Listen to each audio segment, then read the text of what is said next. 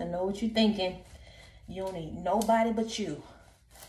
And that's just like my wig saying it don't need it don't need this brush. It does need this brush. Okay, I left my wig brush in the car, but I got this brush. Ignore that.